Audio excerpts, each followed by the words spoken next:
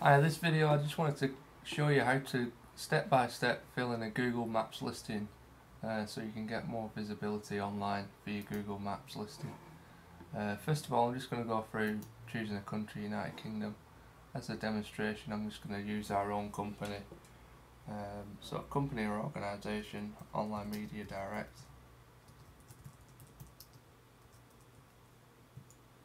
Just filling in the details. It's important when you're doing this to if you are in a specific location one of the biggest tips I give you is use the Google keyword tool uh, to then find from there uh, the top searches within that area for your particular service or product.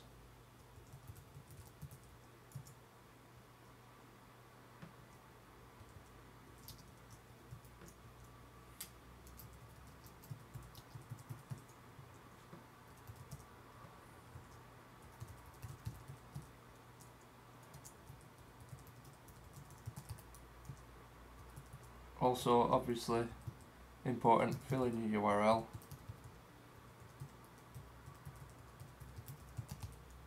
your description ideal ideal situation to fill in keywords. So let's say for example we wanted to target a keyword such as online media we'd include online media cost per click cost per click we'd include cost per click. So cost per click online media direct provide uh, professional cost per click management service. Categories what do we fit under marketing internet marketing services what is the first one that appears? Let's add another category. Cost per click add another category online. Advertising. So fill in as many categories as you can. Uh, let's think of another one CPC advertising. Agency there you go. So fill in as many as you like. Try and get obviously as much information as you can. Another tip in your company name cost per click. That's what we do. Do cost per click. Next stage. Oh, one moment.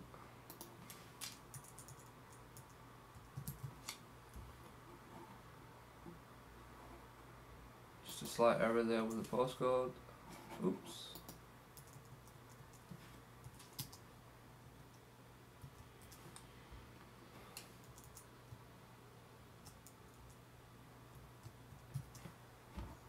All your details. So you can tell this isn't planned. This is really off the cuff, just a quick, a quick guide.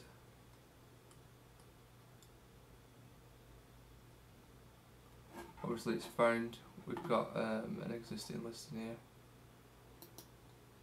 Add that listing. This is important. Fill in the hours. Another section that's really important is this section, additional details. Okay, so this is another chance of fitting in those keywords. So we do cost per click. Yes. Add another. We do online advertising. Yes, we offer that service. We do advertising yes, we offer that service, and so on and so forth. So you can pick it to tailor to one particular phrase or keyword. What I'd recommend you, it is absolutely vital you back this up with a little bit of a knowledge. So use Google Keyword Tool, check out what people are typing in your area, and obviously try and fill in those, those details within your description and in the other services you offer. Biggest tip is probably the top line, where I've put my company name I've also included cost per click. So company name and then obviously whatever the services you, you provide and the keyword you're trying to target, then it will appear in bold. Uh, if you look on here, online media direct, cost per click, description, categories, look at the other section there. So we've got cost per click there, we've got cost per click in the description, and we've got cost per click in the title.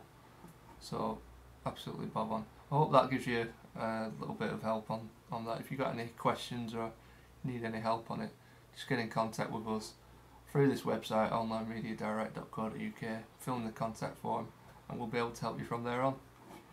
Thanks for watching the video.